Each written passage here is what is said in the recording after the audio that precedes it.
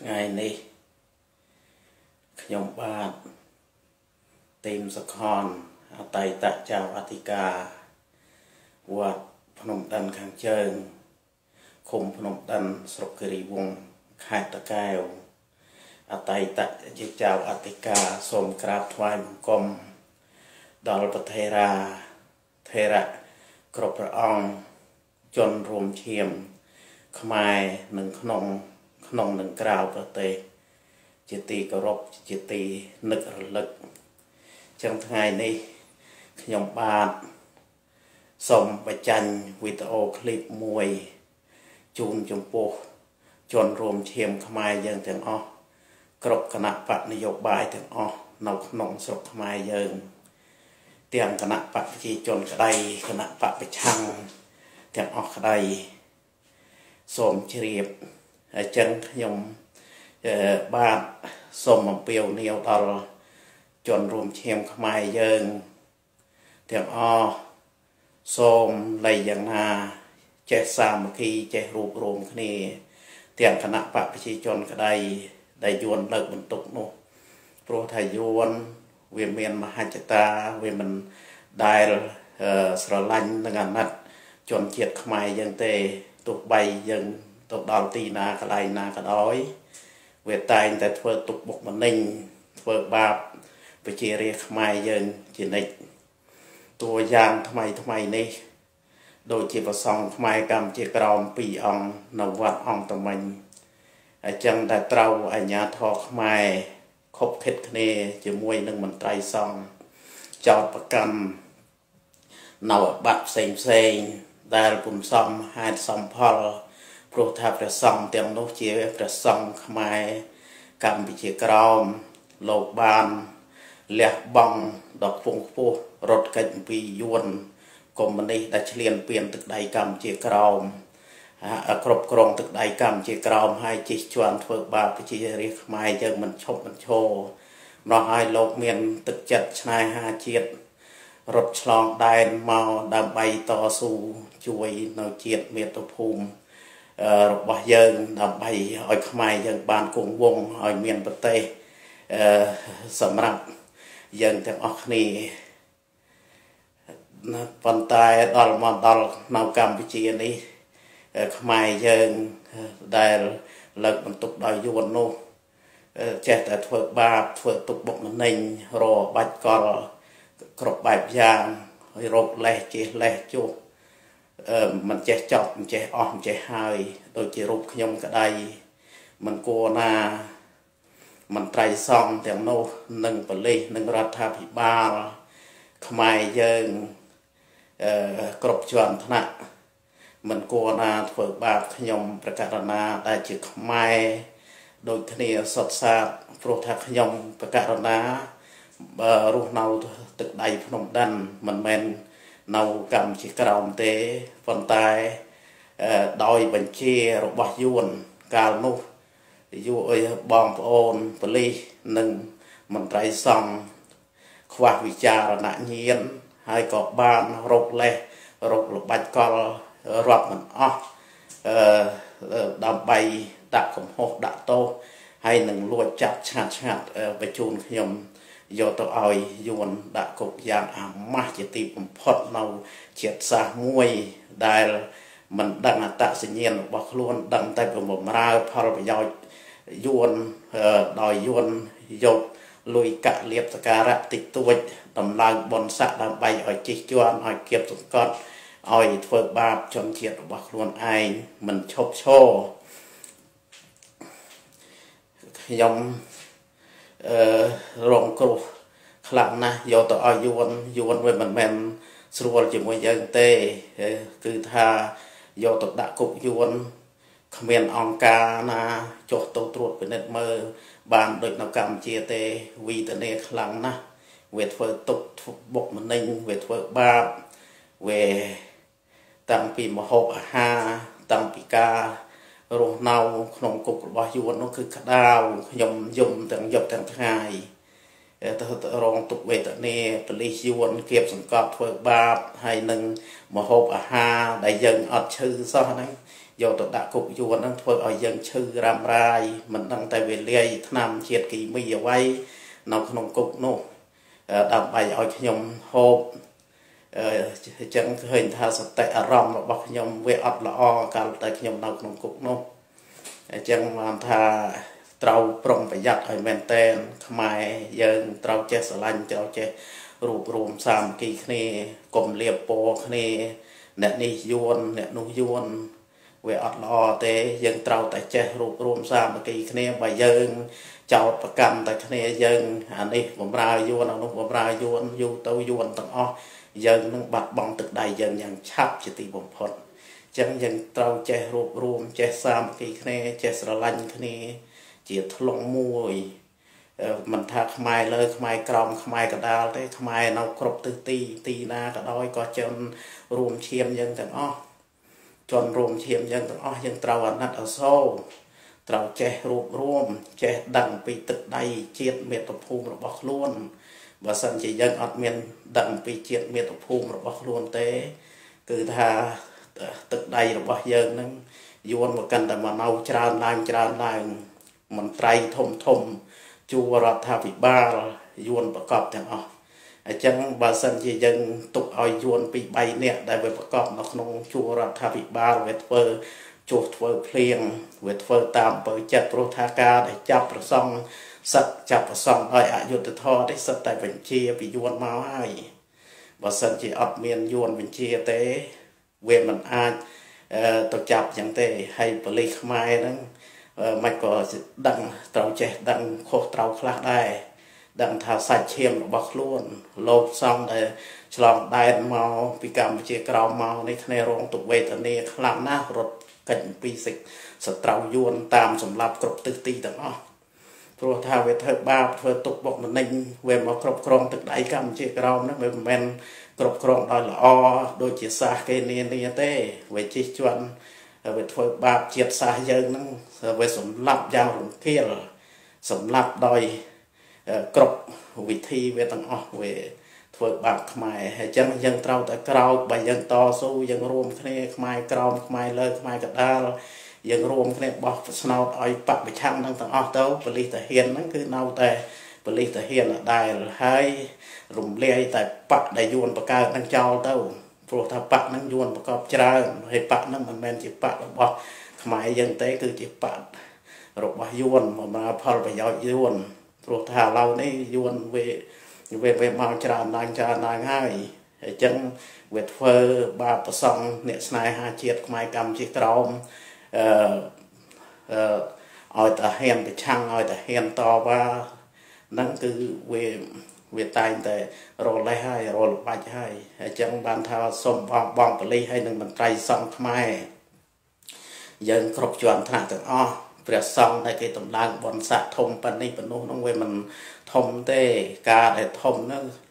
លុះត្រាតែយើងបួសមុនគេហៅថាប្រធេរៈ ប្រធេរៈហ្នឹងគេហៅថាលោកដែលបួសមុនលោកដែលមានភាសាចាស់ហើយជប់ឲ្យយើងទៅបួសក្រោយគេហើយយើងទៅគង់ឲ្យគេយួនតម្លើងបនស័កដោយសារកាប់សម្លាប់ដោយសារជីកជាន់ដោយសារធ្វើបាបដោយសារ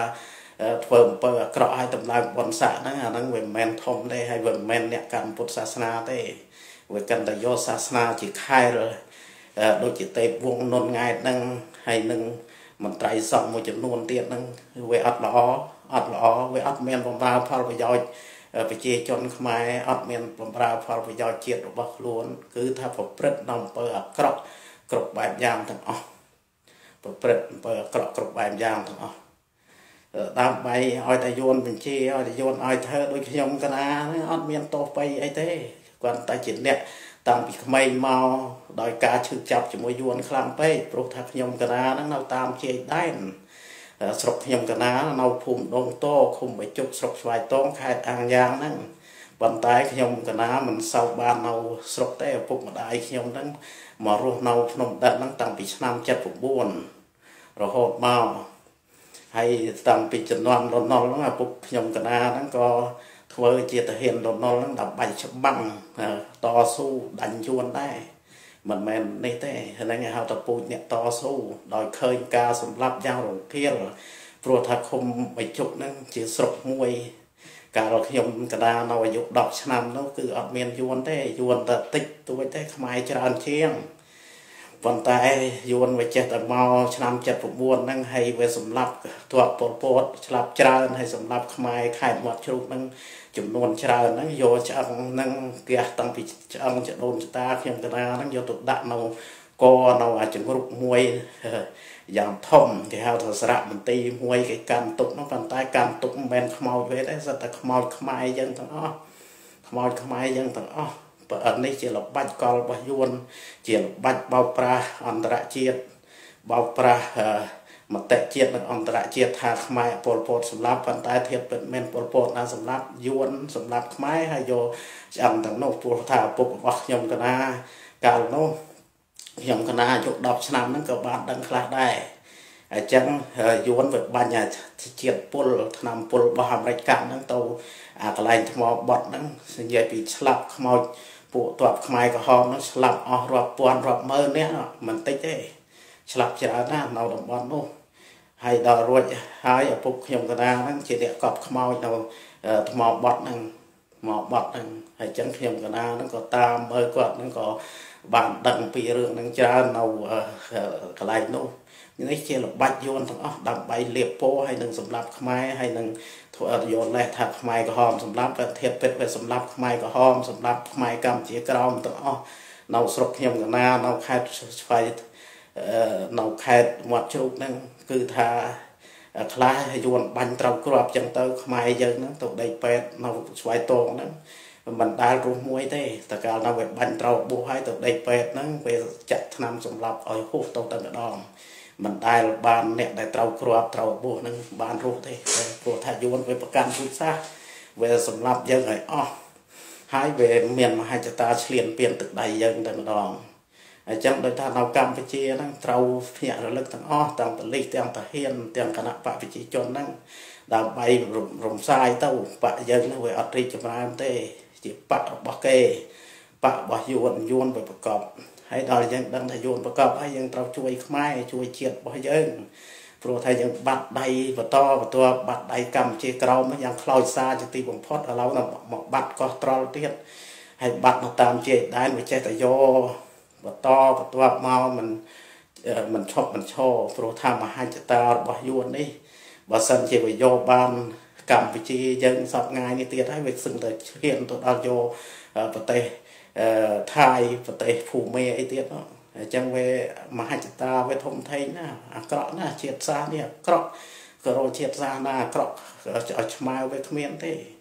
ជាតិសាសគេមួយមួយគេឆ្លៀនពៀនគេឆ្លៀនពៀនដល់មកប្រទេសទេអានេះវាឆ្លៀនពៀនតាំងពីនគរចម្ប៉ារហូតមកដល់ដៃកម្ពុជាក្រោមមិនអស់ចិត្តក៏មកឆ្លៀនពៀនទឹកដៃយើងសពថ្ងៃនេះហើយឥឡូវហ្នឹងវាខ្ចីដៃខ្មែរសម្រាប់ខ្មែរធ្វើបាបខ្មែរ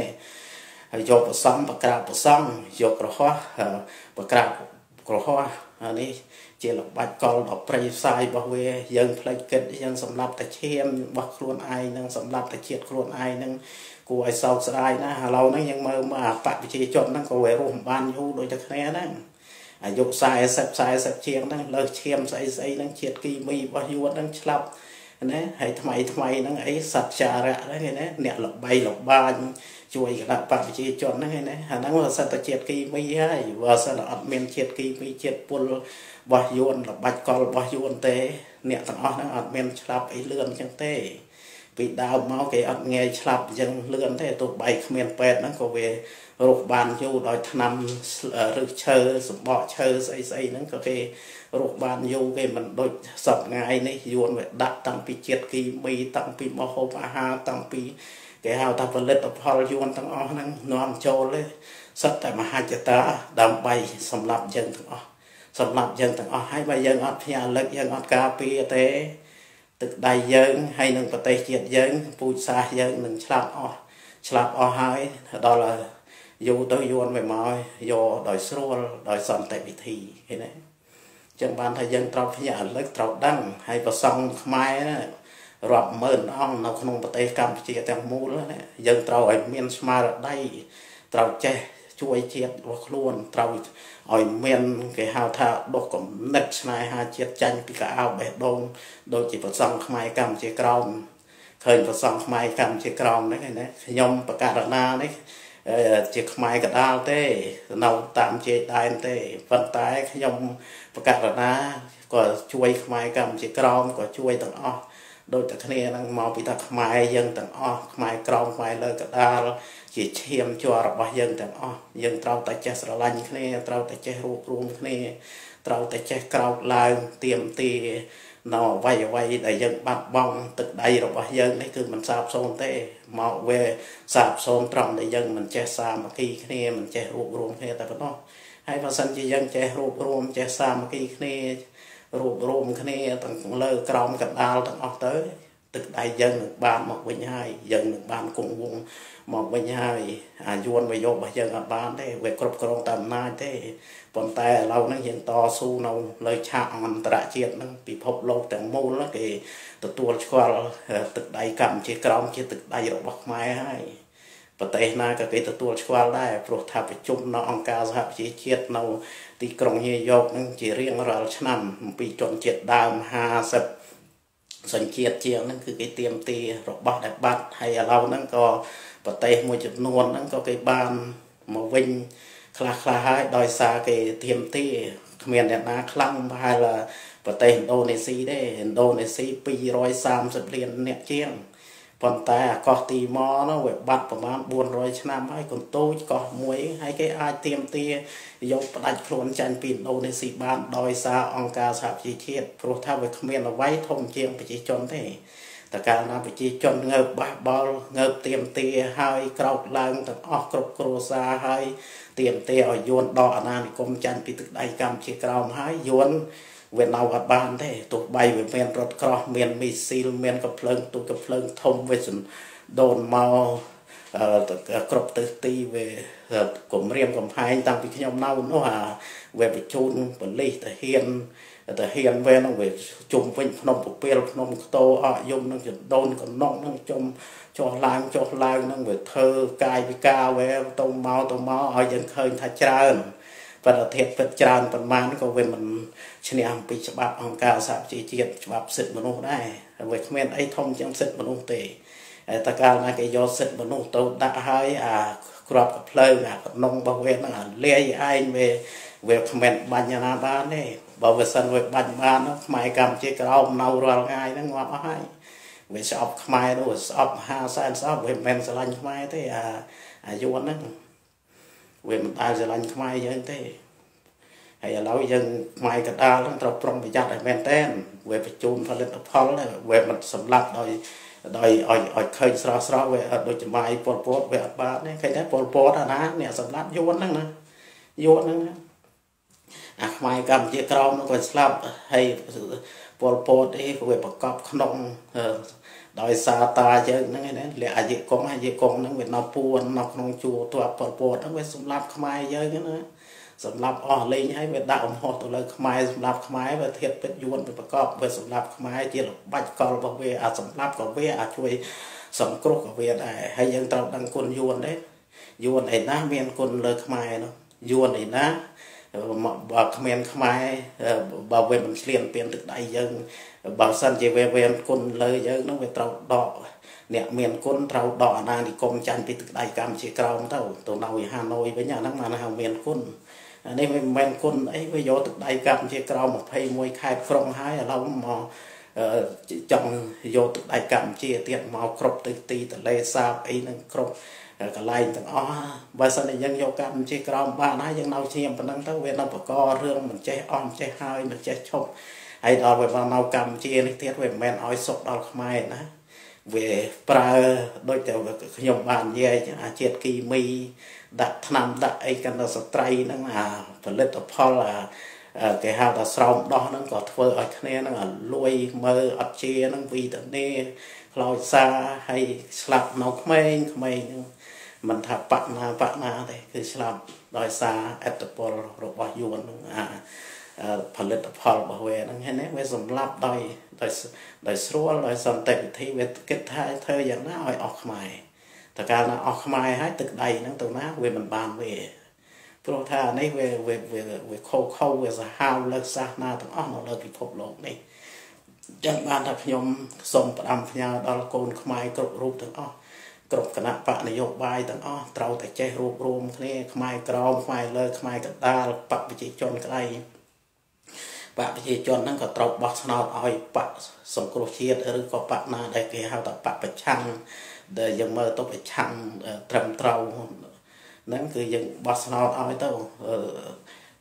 ខ្ញុំមិនកាន់ជើងបកណាទេប៉ុន្តែខ្ញុំកាន់ជើងខ្មែរខ្ញុំជាខ្មែរអង្គរកូនខ្មែរខ្ញុំត្រូវតែជួយខ្មែរត្រូវតែរួបរวมគ្នាហើយខ្ញុំមកដល់នៅទឹកដៃគេនេះប្រហែលឆ្នាំនេះខ្ញុំអឺកិច្ចមុខរហូតហ្នឹងព្រោះថាយួនក៏វាតាមខ្ញុំដែរហ្នឹងវាមិនឈប់មិនឈរណាវាលឺដល់អ្នកលបៃលបាញវាធ្វើបាបឲ្យអន្តរជាតិជួយហ្នឹងវាលិចលឺពេញពិភពលោកហ្នឹងហើយវានៅតែធ្វើតាមអញ្ចឹងវាមិនគ្រប់វិធីទាំងអស់ហើយខ្ញុំវាអត់សូវចេះភាសាគេ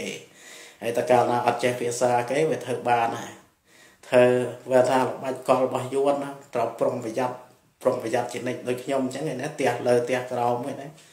មិនដឹងថាវាបាញ់អាជាតិគីមីស្អីចូលមកហ្នឹងធ្វើឲ្យយើងហ្នឹងដូចថាវាពិបាករស់នៅដកដង្ហើមអីចឹងទៅជួនណាវា វាចង់ប្រកាសភ្លាមភ្លាមអីចឹងទៅយើងប្រាប់ប៉ូលីសគេប្រាប់អីចឹងទៅឥឡូវគេពងតែសើបអង្កេតអំពីយួនទង្វើដ៏អាក្រក់របស់យួនកាលមុនខ្ញុំអត់អត់អត់ចេះភាសាខ្ញុំយកអាអាយួនដាក់នៅមាត់ទ្វារហ្នឹងអាសិជាតិពលហ្នឹងយកទៅបង្ហាញប៉ូលីសគេហ្នឹងប៉ូលីសវាវាវាអត់ប្រឌិត អត់ប្រឌិតវាខ្លាចដែរអញ្ចឹងគាត់ថាឥឡូវនេះខ្ញុំធ្វើមែនតែនខ្ញុំបដិងគ្រប់ទិសទីគ្រប់កន្លែងទាំងអស់អំពីឲ្យគេចុះមកប្រឌិតទៀតឲ្យឲ្យឲ្យដឹងថាអាសត្វយួននឹងវាសាហាវប៉ុន្មានហើយខ្ញុំទៅថាខ្ញុំមកនៅនេះហើយនៅស្រុកហើយនៅក្រៅហ្នឹងកន្លែងណាដែលខ្ញុំខ្លាចយួនខ្ញុំអត់ខ្លាចប៉ិនកញ្ចក់ដែរទេព្រោះថាកាលខ្ញុំតស៊ូឆ្នាំ2007នោះដូចអស់លោកដឹងហើយ ព្រះសង្ឃមកខេត្តតកែវហ្នឹងគ្មានលោកសង្ឃណាដែលហ៊ានចាញ់មុខ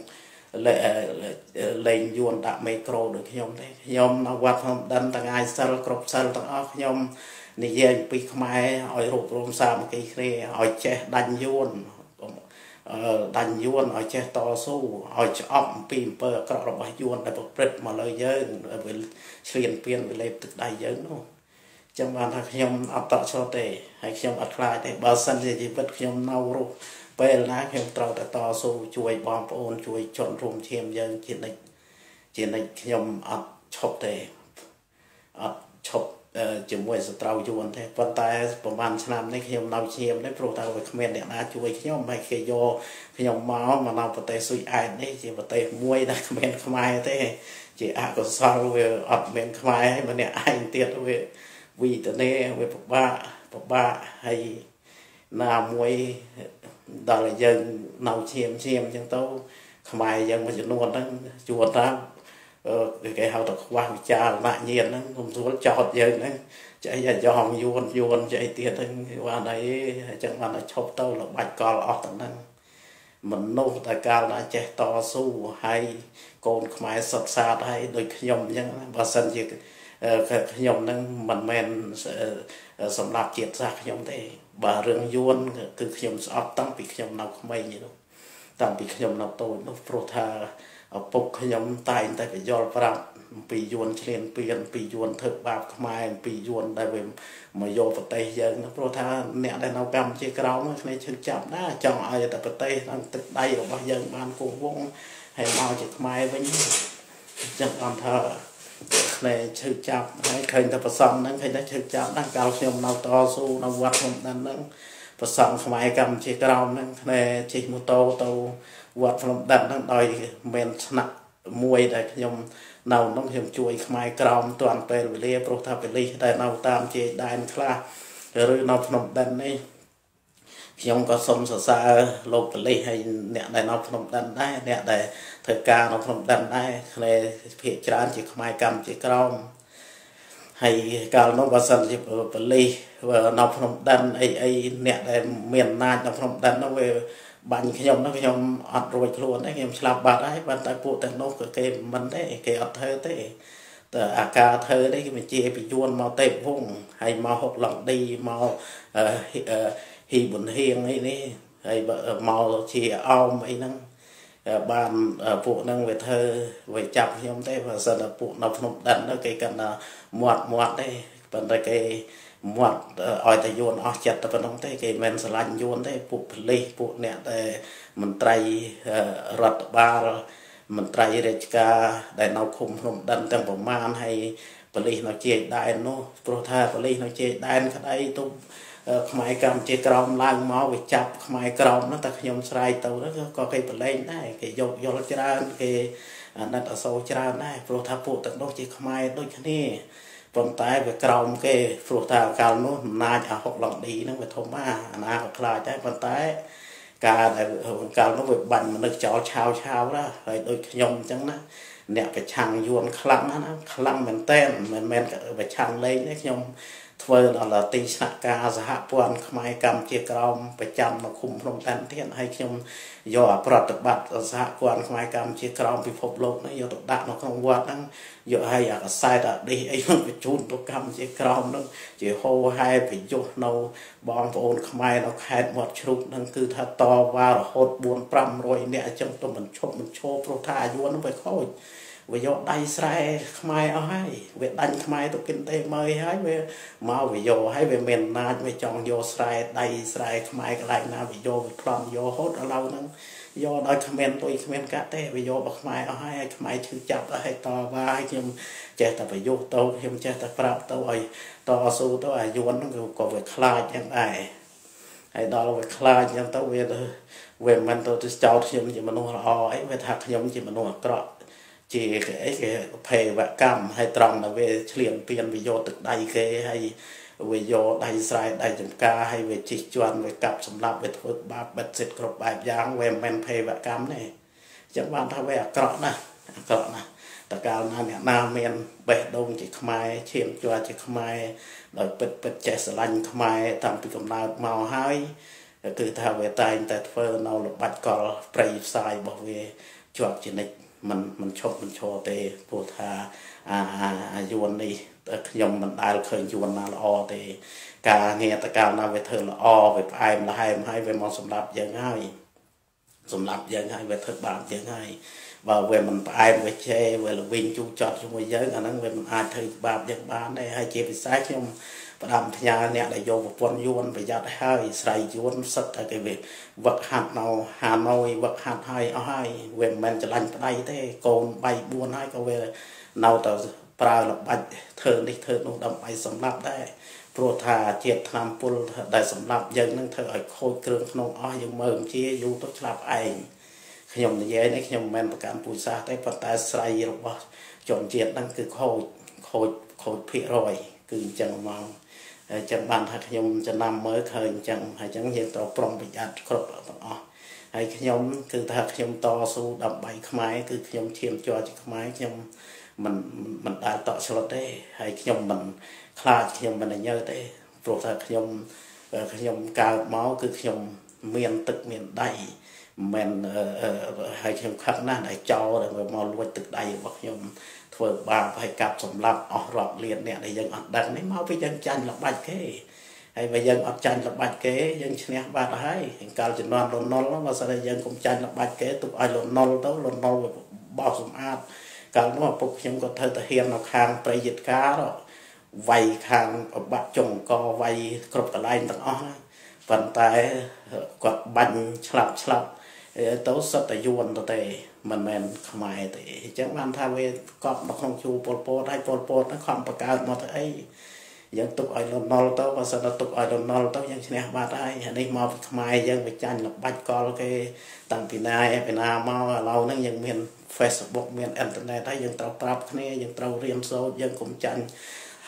ល្បាច់កលយើងតទៅទៀតយើងត្រូវតែចេះរួបរวมចេះសាមគ្គីគ្នា ជាធ្លុងមួយជាកម្លាំង ដើម្បីរើបំរាស់ព្រោះថាបើយើងអត់រើបំរាស់ទេមហិច្ឆតារបស់វាបើយើងអត់រើបំរាស់ក៏យើងឆ្លាប់ដែរតែកាលណាវាមកនៅច្រើនវាវាសម្លាប់ដូចបងប្អូនខ្មែរកម្ពុជាក្រោមអញ្ចឹងហើយអញ្ចឹងយើងត្រូវតែរើបំរាស់អារើបំរាស់ឆ្លាប់វាឆ្លាប់តិចជាងអាមិនរើបំរាស់អាមិនរើបំរាស់ហ្នឹងវាឆ្លាប់ច្រើនយូរទៅតកាលណាវាកាន់អំណាចវាមកគ្រប់គ្រងវាឆ្លាប់ច្រើនហើយព្រោះថាយួនអឺវា មកនៅស្រុកខ្មែរហ្នឹងវាសម្រាប់ខ្មែរហ្នឹងវាមិនបាច់ទៅស្អីវាតាមតំហូបអាហារហ្នឹងក៏វាអាចស្លាប់បានដែរយូរយូរយូរទៅអស់អស់អ្នកកម្លាំងហើយមិនអីចឹងបានថាខំប្រឹងឲ្យខ្ញុំសូមផ្ដាំផ្ញើវីដេអូឃ្លីបនេះទៅដល់បងប្អូននៅឃុំភ្នំដិនទាំងមូលហើយនឹងខេត្តមាត់ជ្រូកបងប្អូនទាំងអស់បើសិនជាមានហើយនឹងនៅកម្ពុជាបានឃើញវីដេអូនេះហើយ គឺថាកុំអស់សង្ឃឹមឡើយយើងត្រូវតែតស៊ូទាំងអស់គ្នារួមគ្នាដើម្បីរំដោះទឹកដៃយើងឲ្យចាញ់ពីអាណានិគមយួនបើសិនយើងរួមគ្នាមកពីឥឡូវនេះយើងអត់ទាន់រួមគ្នាយើងរួមគ្នាហើយយើងក្រោកឡើងយើងគ្រប់ភូមិគ្រប់ស្រុកទាំងអស់យើងកុំខ្លាចវាអាហ្នឹងគឺយើងជោគជ័យយើងឈ្នះហើយហើយតើកាលណាយើងឈ្នះគឺយើងបានទឹកដៃយើងមកវិញហើយហើយយួនវាមិនអាចគ្រប់គ្រងយើងបានទេ អញ្ចឹងយើងមើលប្រទេសគេផ្សេងផ្សេងហ្នឹងគេយកបានច្រើនហ្នឹងក៏ដោយសារគេទៅរួមសាមគ្គីគ្នាហើយត្រូវប្រុងប្រយ័ត្នមែនតើហើយសុំ5ផ្ញើទៅកងកម្លាំងប្រដាប់អាវុធខ្មែរទាំងអស់ហើយនឹងគណៈបព្វជិជនទាំងអស់ហើយនឹងសូមឲ្យដោះលែងប្រសង់ពីរអង្គហ្នឹងទៅលោកគ្មានតោគ្មានកំហុសអីទេហើយសូមអង្គការទាំងអស់ហើយនឹងខ្មែរគ្រប់ ទិសទីទាំងអស់ត្រូវរួមគ្នាប្រតិកម្មខ្មែរលើខ្មែរក្រោមខ្មែរកដាលអីកុំប្រកាន់ថាក្រោមលើកដាលអីគឺខ្មែរយើងតែមួយទេព្រោះថាប្រសង់ទាំងអស់នោះគឺថាលោកក្លាហានណាលោកក្លាហានណាកាលខ្ញុំនៅវត្តភ្នំដិននោះលោកជិះម៉ូតូទៅទោះបីអាប៉លិសនឹងដាច់ចាប់ធ្វើបាបលោកតំណតំណែងអីក៏ដោយក៏លោកនៅតែខំតស៊ូទៅ ជួបខ្ញុំនៅភ្នំដិនហ្នឹងញឹកញាប់ដែរហើយប៉លិសក៏វាអត់សូវសប្បាយចិត្តដែរប៉ុន្តែដែលធ្វើមិនការតស៊ូរបស់លោកហើយលោកឈឺចាប់លោកចង់ដោះទឹកដៃកម្ពុជាក្រោមចង់ឲ្យរួចផុតពីយួនឲ្យកុំឲ្យយួនវិជិះជន់ឲ្យគៀបគៀបសង្កត់ខ្មែរតទៅទៀតអញ្ចឹងវាអត់ល្អទេអញ្ចឹងខ្ញុំនិយាយតែប៉ុណ្ណឹងខ្ញុំសូមចប់តែប៉ុណ្ណឹងយកតែនេះខ្ញុំមិនសូវដែលនិយាយវីដេអូឃ្លីបទេប៉ុន្តែ មុនបញ្ចប់ខ្ញុំសូមក្រាបថ្វាយបង្គំដល់ព្រះអង្គគ្រប់សង្ឃគ្រប់អង្គនិងជនរួមឈាមទាំងអស់ជូនពរសូមឲ្យប្រកបដោយសេចក្តីសុខសេចក្តីចម្រើននិងប្រទេសជាតិយើងបានគង់វង្សនិងខ្មែរយើងកាន់អំណាចដោយខ្លួនឯងឈ្នះនៅគ្រប់ឧបសគ្គទាំងអស់ឈ្នះនៅសត្រូវយួនសត្រូវយួននឹងបរាជ័យគ្រប់ទិសទីទាំងអស់សូមជម្រាបលា